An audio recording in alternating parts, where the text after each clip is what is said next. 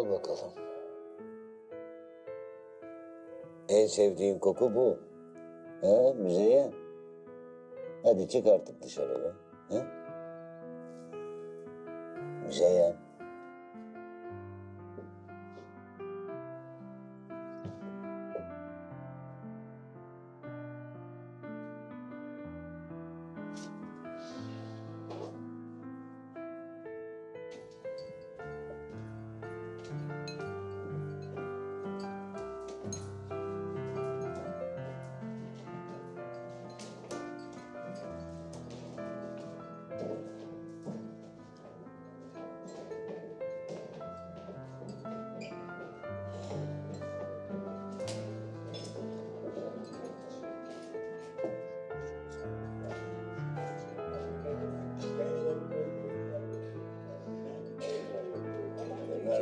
Şarabınız.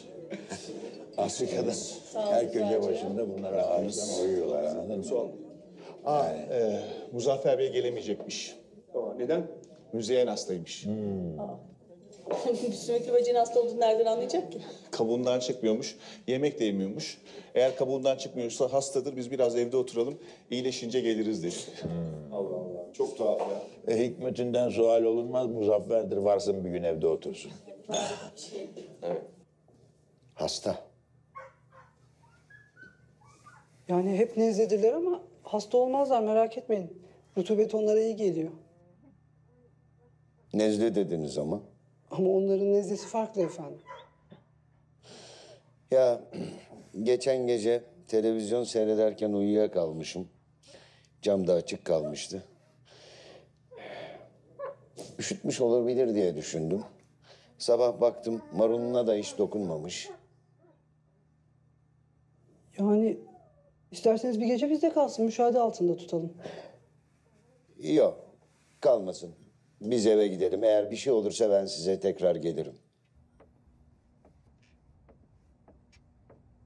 Afiyet olsun.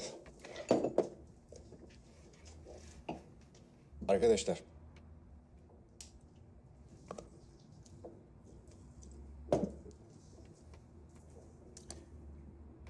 Size bir şey söylemem gerekiyor. Söyle. Ben barı kapatmaya karar verdim.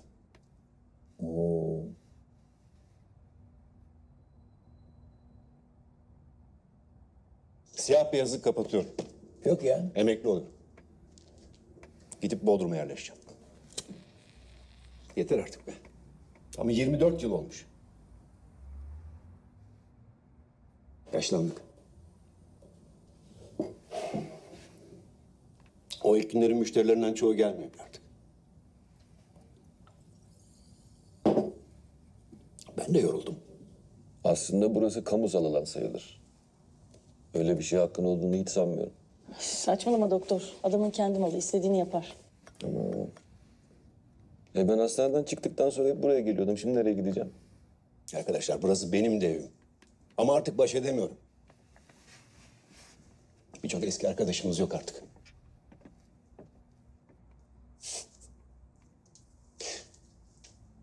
Şu fotoğraflara baksanıza duvardaki fotoğraflara. Neredeyse ölüler yaşayanlardan daha fazla.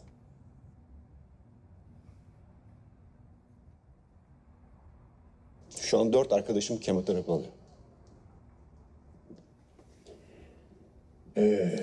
Ne zaman kapatıyorsun? Bilmiyorum.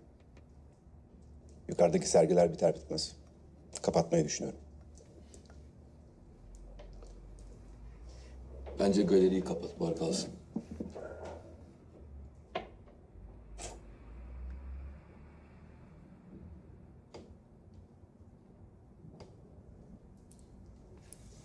E tamam, o zaman bir anket yapalım. Hı? Demokratik olur. Ben karşıyım.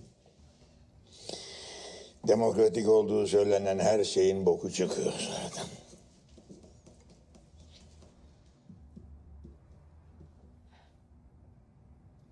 Yarın balık tutmaya gidelim mi ya?